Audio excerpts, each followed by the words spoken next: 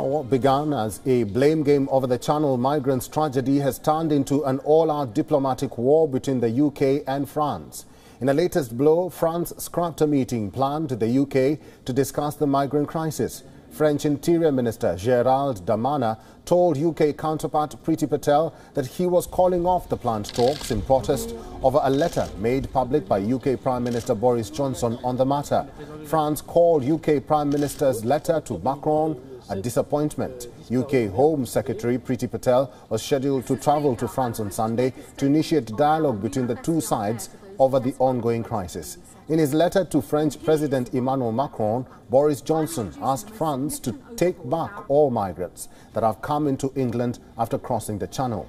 Johnson said that taking back migrants would significantly reduce, if not stop, the migrant crossings.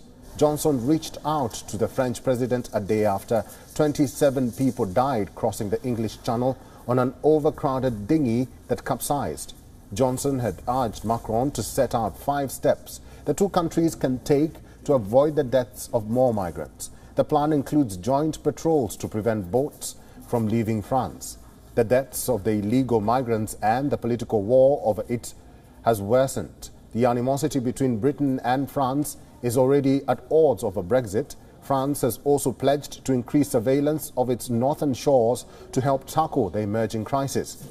President Emmanuel Macron, meanwhile, had earlier defended Paris's actions by saying that France is merely a transit country for many migrants and more European cooperation was needed to tackle illegal immigration.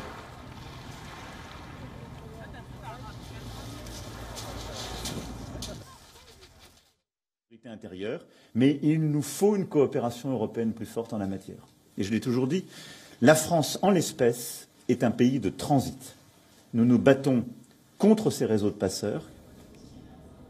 WeOn is now available in your country. Download the app now and get all the news on the move.